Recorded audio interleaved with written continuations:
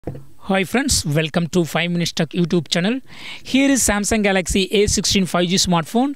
In this video, you will learn how to turn off uh, notifications opening from swiping anywhere in the home screen. See here, I have swiped here. It's here in the home screen and uh, notification panel is opened. Okay, instead of opening from the notification area that is uh, near the camera area. Okay, uh, if you swipe anywhere in the home screen uh, it is opening. Okay suppose if you don't wish uh, wish uh, to open from home screen yes you can do it. What you do is just go to the settings of your phone here then go to home screen and here find uh, swipe down for notification panel. Already it is turned on. By default it is turned on so that uh, you can open or anyone using your phone open notification panel by, by swiping down from the home screen itself. Okay uh, if you turn off this uh, hereafter uh, you cannot open notification panel from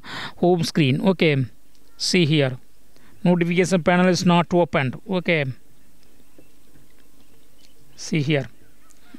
Only settings and other things are opened. Okay so in this way we can easily control opening notification uh, notification panel from home screen itself. That's all friends. Thanks for watching. Bye